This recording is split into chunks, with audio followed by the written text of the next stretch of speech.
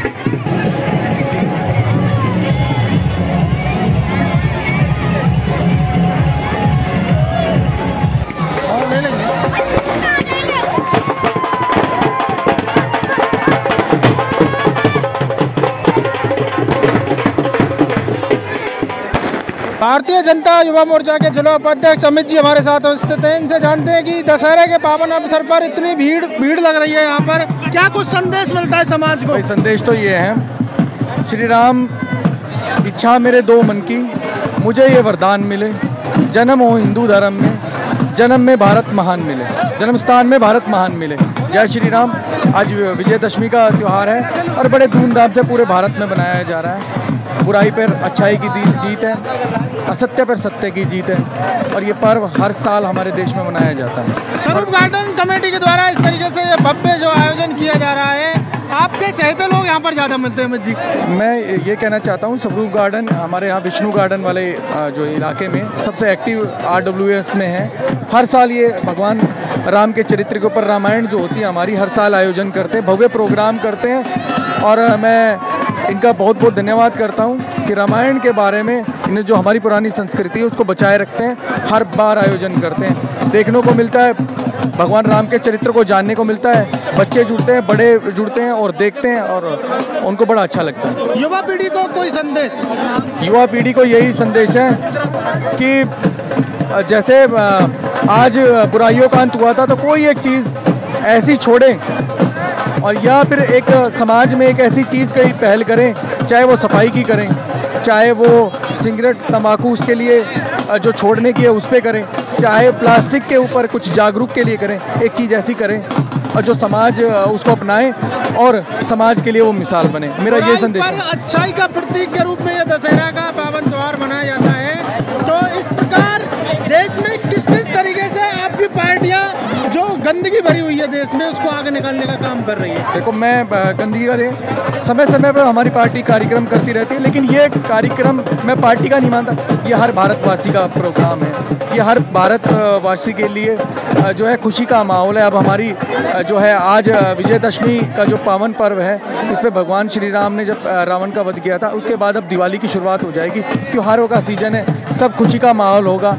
और मैं सबको अग्रिम बधाई भी देता हूँ आज विजयादशमी की भी और आने वाले हमारे दीपावली की अमित जी एक लास्ट सवाल। देश के युवा संस्कृति को भूलते जा रहे हैं। संस्कृति के प्रति उनका जुड़ाव बना रहे इसके लिए कोई क्या कुछ करे? देखो मैं आपकी बात से इतना इतफाक तो नहीं रखता। मुझे जो लगता है कि अभी हमारे भारतवर्ष में आस्था का जो सरोवर चल रहा है, वो इस टाइम सबसे ज़्यादा है और होना भी चाहिए। हमारी संस्कृति को दबाया गया और अब निकल के आ रहे हैं और हमें गर्व है। जैसे मैंने शुरू में ही भगवान राम के बारे में कहा कि मुझे जन्म मिले तो हिंदू धर्म में मिले और जन्म स्थान मुझे भारत स्थान मिले।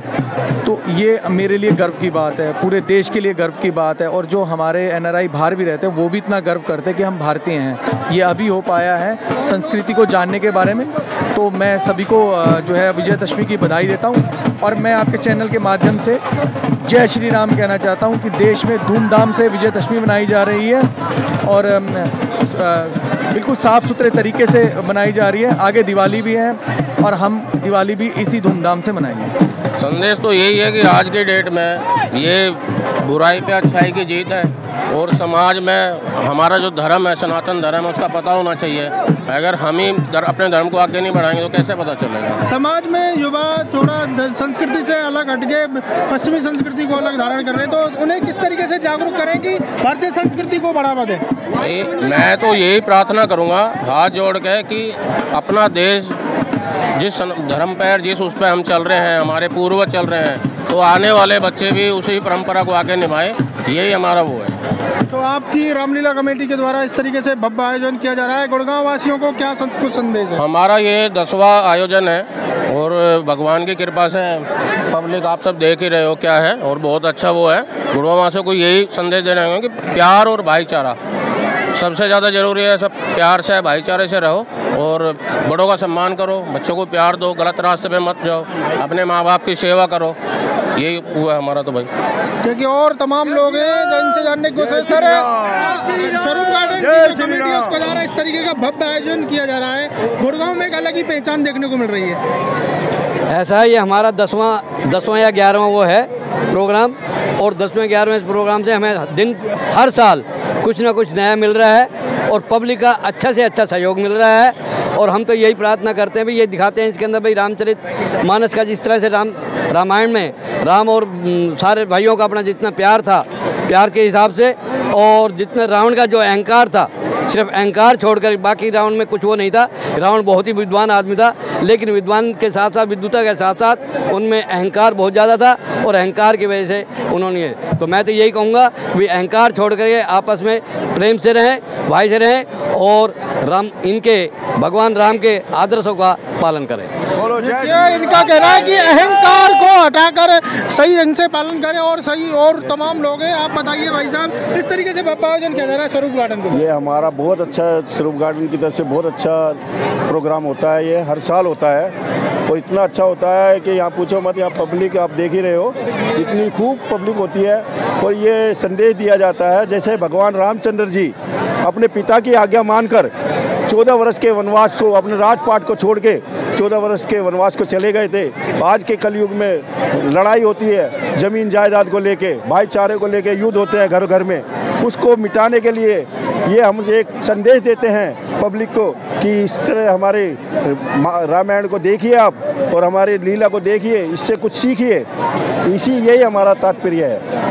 युवाओं का थोड़ा भारतीय संस्कृति से अलग आजकल के बच्चे युवा पीढ़ी का हाँ इस चीज़ से बहुत ज़्यादा ताल्लुक हटता जा रहा है पढ़ाई कॉलेजों में ये चीज़ें सिखाई नहीं जाती इसी इसी मात्र से हम ये रामलीला करते हैं जिससे लोगों को संदेश मिले उत्तेजना मिले बच्चे सीखें हमारे माता पिता की सेवा करें भाईचारा युवा पीढ़ी बच्चे बच्चों को पता ही नहीं है राम भारतीय संस्कृति को बढ़ावा देने के लिए जो स्कूल होते हैं उनमें रामायण का पाठ अनिवार्य कर देना चाहिए को? बिल्कुल अनिवार्य करना चाहिए क्योंकि ये राम का संदेश इतना बड़ा संदेश है, जैसे उन्होंने जायदाद, लड़- युद्ध, लड़ाई, बच्चों को पता ही नहीं है माता पिता की सेवा क्या होती है, राम भगवान क्या थे, आजकल बच्चों को आजकल पढ़ाया नहीं जाता है। ये चीज़ें पढ़ानी चाहिए हर स्कूल में, हर छोटे बच्चों को पढ़ानी चाहिए, बड़ों को ये एक चैप्टर बनाना चाहिए हमारे लिए।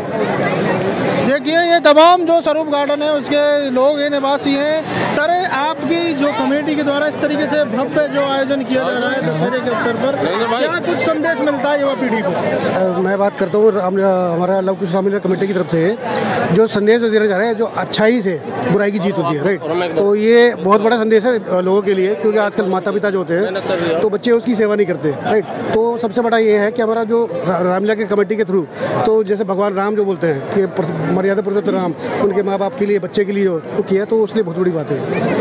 क्या आप बताइए सर, जो ये भव्य आयोजन किया जा रहा है दशहरे का जो अहंकार पर जीत हो रही है तो किस तरीके से क्या देखते हैं? है सत्य पर सत्य की जीत है ये, बुराई पे अच्छाई की जीत है। दूसरा, सबसे बड़ा आज के समाज में हम लोग भारतीय संस्कृति को ज़िंदा रखे हुए हैं। इसी बहाने हम लोग हर साल ये रामलीला का आयोजन करवाते हैं अपने यहाँ पे। पूरे के पूरे राजेंद्रा पार्क में हम लोग इसकी भव्य झांकी निकालते हैं दशहरे के पर्व पे। और हमारा इसका सबसे बड़ा उद्देश्य यही होता है कि जो स्कूल में जाने वाले बच्चे हैं बाकी लोग हैं तो हम अपनी भारतीय संस्कृति को पुनर्जीवित कर सकें उनके अंदर में अच्छे विचारों का आगमन हो सके यही हमारा उद्देश्य रहता है इसमें। भव्य प्रोग्राम किया गया कि भारतीय जनता युवा मोर्चा के जिला उपाध्यक्ष अमित यादव खुद यहाँ पर पधारे हैं। क्या कुछ कहना चाहोगे? बिल्कुल अमित भाई जी बिल्कुल हमेशा उनका पूरा सहयोग रहता है यहाँ पे। हमारे जो है वार्ड के अंदर भी उनका काफ़ी ज़्यादा किसी भी प्रॉब्लम में हम लोग होते हैं तो वो हमेशा आगे तत्पर रहते हैं हमारे से, सेवा भाव और हमारे लिए। तो अमित भाई का पूरा पूरा योगदान और पूरा पूरा सपोर्ट हमारी तरफ़ से और बहुत अच्छा काम कर रहे हैं लास्ट सवाल सर राजनीतिक बात तो होनी चाहिए लेकिन एक क्वेश्चन कर लेते हैं। क्या इस बार अमित यादव को मौका मिलना चाहिए? बिल्कुल मिलना चाहिए। काफ़ी युवा हैं और अपनी तरफ़ से वो सामाजिक कार्यों में रुचि ले रहे हैं आगे बढ़ रहे हैं। तो उनको मौका ज़रूर मिलना चाहिए। देखिए, ये थे स्वरूप गार्डन के तमाम जो निवासी हैं, इनका कहना है कि सत्य, असत्य पर सत्य की जीत, अहंकार पर यह जीत मानी जाती है। दशहरे का पावन त्यौहार है स्वरूप गार्डन कमेटी के द्वारा मनाया जा रहा है। आप देख सकते हैं कि लाखों की संख्या में युवा, बच्चे, बूढ़े, बुज़ुर्ग सभी यहाँ पर आए और इनको अभी इस पल का इंतज़ार है कि कब इस, इसको जो अहंकार का प्रतीक है, रावण, उसका दहन होगा। किस तरीके से वो भी हम आपको दिखाएँगे। आपको हमारी ये खबर कैसी लगी, कृपया करके कमेंट बॉक्स में अपनी राय दें और वीडियो को ज़्यादा से ज़्यादा शेयर करें। गुड़गांव की ताज़ा और लेटेस्ट न्यूज़ देखने के लिए अभी फॉलो करें City News 24 video journalist Ajit के साथ मैं वीरू फौजदार, गुरुग्राम।